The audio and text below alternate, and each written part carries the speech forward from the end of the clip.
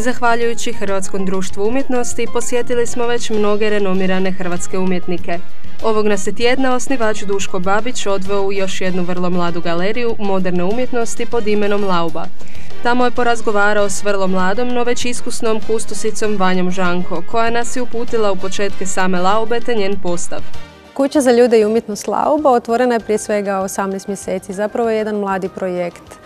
Otvorili smo je sa naumom da postane jedno zanimljivo mjesto i okupljalište zapravo urbanih e, ljudi našega grada koje nudi ne samo suvremenu umjetnost, umjetnost koja nastaje danas, nego i niz zanimljivih događaja. Naš program zapravo se temelji na predstavljanju nekakve recentne produkcije, kako domaćih, tako i međunarodnih e, vizualnih umjetnika, ali isto tako volimo priređivati različite programe koji su nam se činili zanimljivi za jedan ovakav prostor. Kako se formirala zbirka Filip Trejda i koji su istaknuti povjesničari umjetnosti i stručni suradnici, osim gospodina Makovića i Maračića, sudjelovali u formiranju zbirke? Zbirka Philip Trade e, nastaje već preko 20 godina i zapravo je prvi rad koji je ušao u zbirku e, bila grafika gromača Otona Glihe i tada nekako kreće priča o zbirci koja se počela baviti sakupljanjem radova 50. i 60. godina prošloga stoljeća. Međutim, negdje od 2000. godine se profilirala kao jedina kolekcija koja zapravo prati recentnu umjetničku produkciju.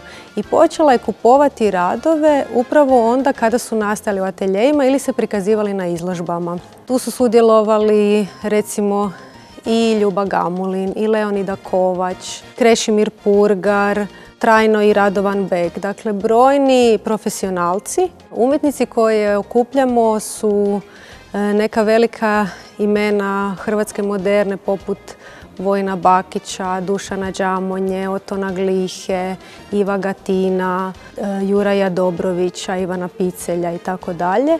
Pa sve do umjetnika koji stvaraju zapravo u novom mileniju i brojnih drugih umjetnika. Gdje vam je sve zbirka bila predstavljana? U cijelosti se zbirka prikazivala u više navrata. E, jedanput je bila predstavljena u Pragu u galeriji Manes, jedanput je bila u umjetničkoj galeriji Dubrovnik, jedanput u Hrvatskom društvu likovnih umjetnika u Zagrebu kao cijela kolekcija.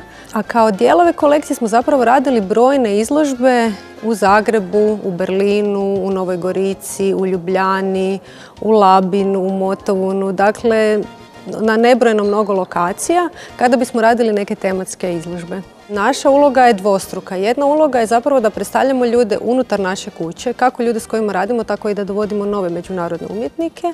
A druga nam je zapravo ideja da naše umjetnike promoviramo i međunarodno. To je zapravo dugoročni plan. Kako smo tu tek 18 mjeseci, počeli smo ga sada i polako provoditi u jednom, ja bih rekla, ritmu koji si možemo priuštiti. Važno je napomenuti kako Laoba radi od 14 do 22 sata kako bi bila dostupnija svima, i zaposlenima i studentima. A s obzirom na njen takozvani nestalni postav koji se jednomjesečno zbog količine umjetnina izmjenjuje, ne sumnjamo kako ćete sada kada znate sve o Laubi i vi vrlo brzo posjetiti ovo mjesto doživljaja, učenja, zabave i društvene interakcije.